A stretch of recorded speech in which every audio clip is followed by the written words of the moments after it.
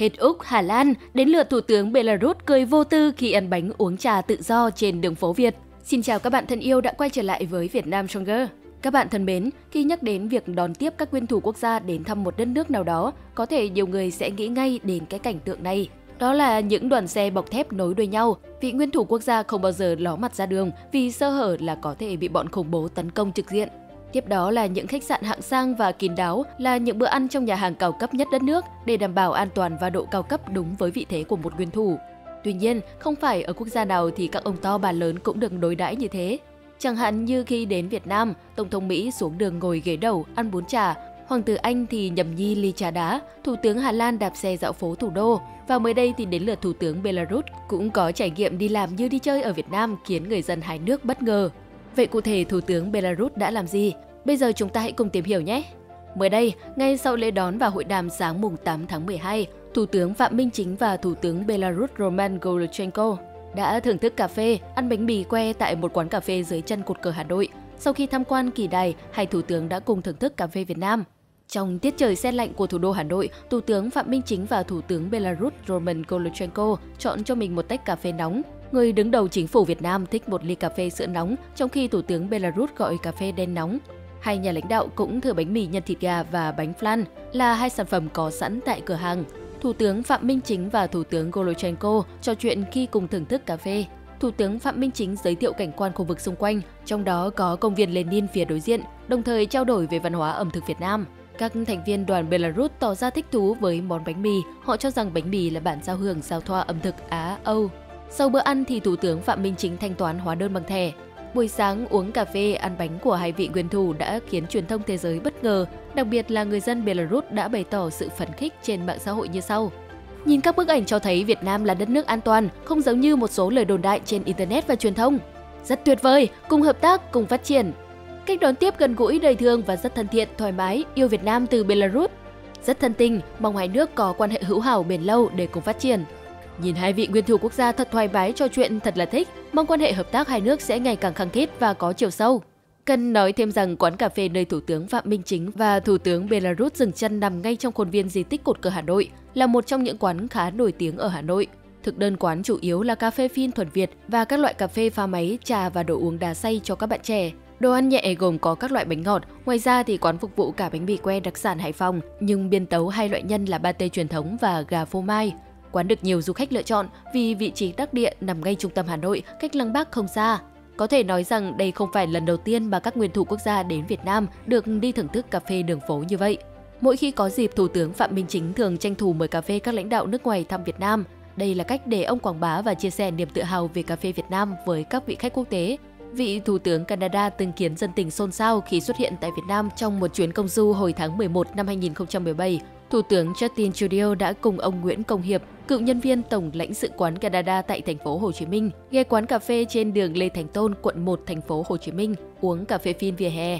Chưa hết, người cùng Hoàng gia Anh Hoàng tử William cũng rất hứng thú với văn hóa Việt trong chuyến thăm Việt Nam lần đầu của ông tại Hà Nội vào tháng 11 năm 2016. Hoàng tử Anh William chọn một quán cà phê vỉa hè trên phố Thuốc Bắc, Hà Nội, cùng trò chuyện thân mật với các nghệ sĩ nổi tiếng Việt Nam, những ly trà chanh, cốc cà phê phin, giản dị nhưng đậm văn hóa Việt là điều khiến vị hoàng tử này thích thú.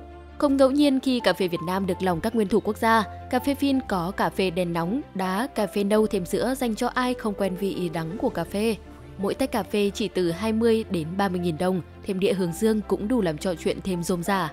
Ngoài cà phê thì bánh mì cũng nhiều lần ghi điểm với các chính khách nước ngoài, cũng giống như một số nguyên thủ quốc gia khác từng ghé Việt Nam, Thủ tướng Australia Malcolm Turnbull cũng chọn ẩm thực Việt bình dân để thưởng thức. Trong dịp dự APEC tại Đà Nẵng vào tháng 11 năm 2017, cựu Tổng thống Australia đã dùng thử chiếc bánh mì kẹp thịt 10.000 đồng tại một quán ăn ven đường của dân địa phương.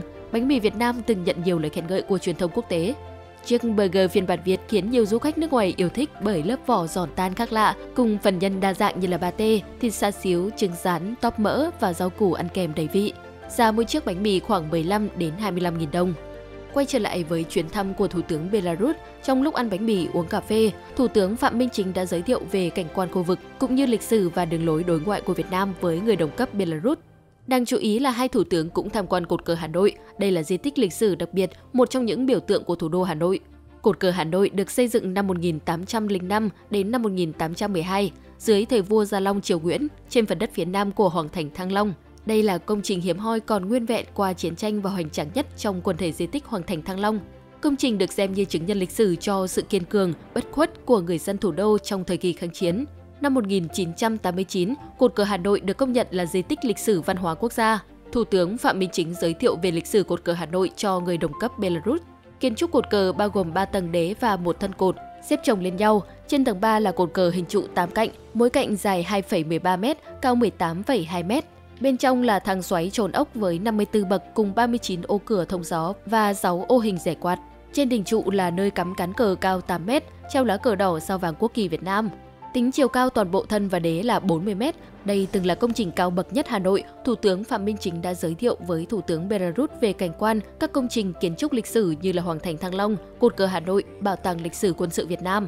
Đại diện Bảo tàng lịch sử quân sự Việt Nam cũng tặng Thủ tướng Belarus huy hiệu có hình chân dung Đại tướng Võ Nguyên Giáp. Chứng kiến tất cả điều ý nghĩa này, cư dân mạng Việt Nam thích thú bình luận. Tự hào vì đất nước rất thân thiện, thanh bình, ai đến chơi cũng vui cười thoải mái như ở nhà vậy. Cứ như hai người bạn rủ đi cà phê sáng, đơn giản nhưng thân mật. Thích quá, trong hai ngày thật thân thiện, gần gũi và hòa đồng. Chúc hai nước Việt Nam và Belarus đồng hành mạnh mẽ trong sự phát triển kinh tế xanh, hài hòa, bền vững và có lợi cho cả hai bên.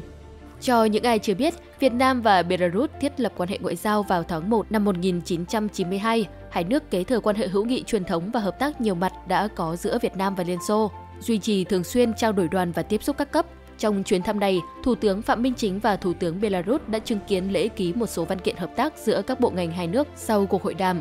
Trong ảnh, lãnh đạo Bộ Ngoại giao Việt Nam và Bộ Ngoại giao Belarus ký hiệp định về miễn thị thực cho người mang hộ chiếu phổ thông. Hiện nay, Belarus hiện có 3 dự án đầu tư tại Việt Nam với tổng vốn là 32,25 triệu đô la Mỹ. Trong đó tiêu biểu là dự án lắp ráp ô tô Max Asia tại tỉnh Hưng Yên. Việt Nam có một dự án đầu tư sang Belarus với tổng vốn 810.000 đô la Mỹ. Hai bên đang tích cực triển khai hiệp định thương mại tự do giữa Việt Nam và Liên minh kinh tế Á-Âu EAEU mà Belarus là thành viên.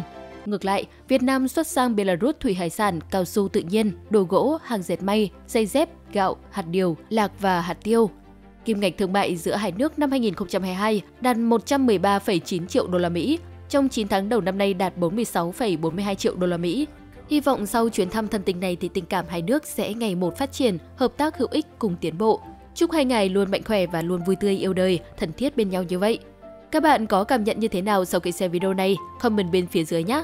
Giờ thì xin cảm ơn các bạn đã theo dõi đến giây phút này. Đừng quên bấm like và nhấn nút đăng ký kênh Việt Nam Stronger để ủng hộ mình cũng như cập nhật những tin tức mới nhất về Việt Nam xinh đẹp. Nếu có thông tin gì muốn nghe, muốn xem, hãy bình luận bên dưới để thông tin cho mình biết nha. Mình luôn đón nhận những ý tưởng thú vị từ các bạn. Còn bây giờ, xin chào và hẹn gặp lại ở các video tiếp theo.